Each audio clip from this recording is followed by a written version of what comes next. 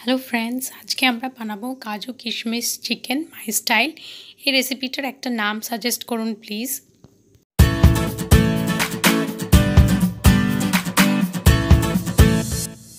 আমি নিয়ে নিয়েছি ফাইভ হান্ড্রেড গ্রামস মতো চিকেন যেটাকে নুন এবং লেবুর রস দিয়ে ম্যারিনেট করে নিয়েছি। সাথে নিয়েছি দুটো পেঁয়াজ, বড় বড় সাইজের দুটো পেঁয়াজকে আমি ফাইনলি চপ করে নিয়েছি। নিয়েছি কুড়িটা মতো গোটা কাজু, নিয়েছি টু টেবিল স্পুন মতো পপি সিডস বা পোস্ত বা খসখস যেটাই বলবেন। নিয়েছি কিশমিশ কুড়িটা মতো, ওইটার একটা পেস্ট আমি বানিয়ে নেব। সাথে নিয়েছি গোটা গরম মশলা, গোটা গরম মশলার মধ্যে নিয়েছি একটা বড় এলাচ, নিয়েছি চারটে শুকনো লঙ্কা, গোটা শুকনো লঙ্কা, নিয়েছি টু ইঞ্চ সাইজের দারচিনি বা সিনেমন স্টিক নিয়েছি, পাঁচটা ছোট এলাচ বা কার্ডেমাম নিয়েছি, পাঁচটা লবঙ্গ বা ক্লোভস নিয়েছি, কুড়িটা ব্ল্যাক পেপার বা গোলমরিচ। এই পুরোটাই আমি কিন্তু গোটা বা হোল ইউজ করব। এটার কিন্তু কোনো পাউডার করব না। সাথে নিয়ে নিয়েছি কুড়ি থেকে পঁচিশ কোয়া মতো রসুন। এই রসুনটার কিন্তু আমি একটা ফাইন পেস্ট বানিয়ে নেব। কাজু, কিশমিশ আর পোস্তরও আমি কিন্তু একটা পেস্ট বানিয়ে নেব। আমি একটা কড়াইতে টু টেবিল স্পুন মতো দিয়ে দিচ্ছি। হোয়াইট অয়েল বা রিফাইন্ড অয়েল। আমি সানফ্লাওয়ার অয়েল ইউজ করেছি, আপনারা যে কোনো অয়েল ইউজ করবেন। সাথে দিয়ে দিচ্ছি টু টেবিল স্পুন মতো ঘি। আমি ঝর্ণা ঘি ব্যবহার করছি, আপনারা যে কোনো ঘি ব্যবহার করবেন। তেল এবং ঘি গরম হয়ে গেলে আমি তাতে গোটা গরম মশলাগুলো অ্যাড করে দিয়েছি। এবার একটু নাড়াচাড়া করে নেব। যতক্ষণ না এই গরম মশলা থেকে একটু গন্ধ ছাড়ছে, ততক্ষণ পর্যন্ত আমাকে কিন্তু নাড়াচাড়াটা করে নিতে হবে। এবারে আমি যে কুচনো পেঁয়াজগুলো ছিল, সেটা আমি দিয়ে দিচ্ছি। দিয়ে আবার ভালো করে আমি নাড়াচাড়া করে নেব।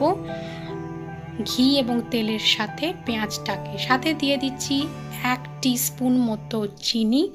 চিনিটা কিন্তু মাস্ট এই রেসিপিটার জন্যে।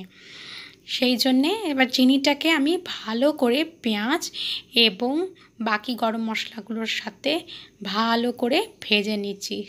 সাথে দিয়ে দিচ্ছি আমার তৈরি করে রাখা রসুনের পেস্ট। এখানে আমার রসুন পেস্টটা প্রায় টু টেবিল স্পুন মতো হয়েছে। রসুন মানে গার্লিক পেস্ট যেটা আমরা দেখালাম একটু আগে, সেইটা আমি দিয়ে দিয়েছি। সেটা দিয়ে আমি একটু নাড়াচাড়া করে নেবার পর এর মধ্যে চিকেনের পিসগুলো অ্যাড করে দিচ্ছি। এই রেসিপিটাতে কিন্তু কোনো এক্সট্রা জলের ব্যবহার হবে না। আগে থেকেই আমি বলে রাখছি। এবং মাংস যেহেতু আমি এখানে ফাইভ হান্ড্রেড গ্রামস নিয়েছি, সেহেতু আমার মাপগুলো আমি আপনাদেরকে বললাম। মাংস আপনারা যদি বেশি কোয়ান্টিটিতে ইউজ করেন চিকেন তাহলে মশলাগুলো সেই অনুপাতে একটু বাড়িয়ে কমিয়ে নেবেন। এবার মাংসটার সাথে ভালো করে পেঁয়াজ, রসুন, গরম মশলা যেটা আমি দিয়েছিলাম আর ঘি, এটাকে ভালো করে আমি মাখিয়ে নিচ্ছি এবং এটাকে আমি তিন চার মিনিট নাড়াচাড়া করে নেব।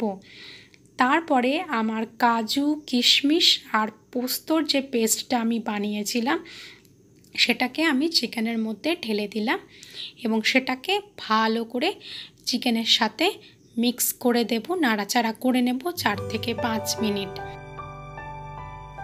চিকেনের সাথে বাকি মশলাগুলোকে মিশিয়ে আমি তিন চার মিনিট একটু রান্না করে নিয়েছি। তারপরে আমি অ্যাড করে দিচ্ছি প্রায় ওয়ান টেবিল স্পুন মতো কোরিয়েন্ডার পাউডার বা ধনিয়া পাউডার বা ধনে গুঁড়ো।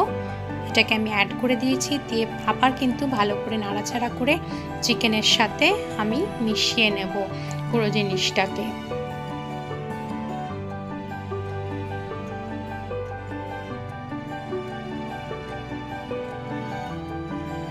পাঁচ মিনিট মতো মশলার সাথে নাড়াচাড়া করে নেবার পর আমি কিন্তু ঢাকা চাপা দিয়ে দিয়েছি, দিয়ে দশ মিনিট মতো রান্না করব।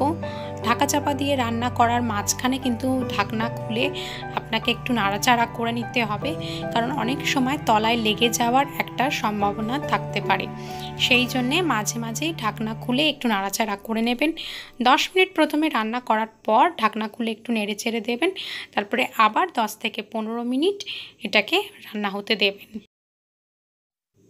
আমার চিকেনটা প্রায় রান্না হয়ে এসছে। এবার আমি স্বাদ মতো নুন অ্যাড করে দিচ্ছি। যেহেতু চিকেনটা আমি নুন এবং লেবুর রস দিয়ে ম্যারিনেট করেছি, সেহেতু নুনটা আমাকে কিন্তু এখানে বুঝে শুনে অ্যাড করতে হবে।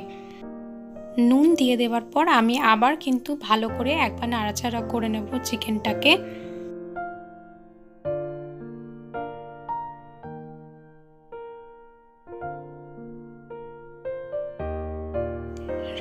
হয়ে এলে দেখবেন অটোমেটিক্যালি চিকেনের গ্রেভিটার কিন্তু কালারটা চেঞ্জ হয়ে গেছে। প্রথম দিকে ফিকে সাদার মতো লাগছিল, এখন কিন্তু বেশ একটা লালচে রং নিয়েছে।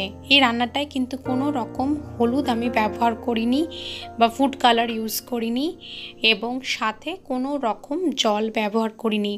এই রেসিপিটা ভালো চালের ভাতের সাথে, পোলাওয়ের সাথে, ফ্রাইড রাইসের সাথে বা লুচি, রুটি, পরোটা, নান, তন্দুরি রুটি, এই সবে বা লাচা পরোটা, এই সবের সাথে খেতে কিন্তু দারুণ লাগে।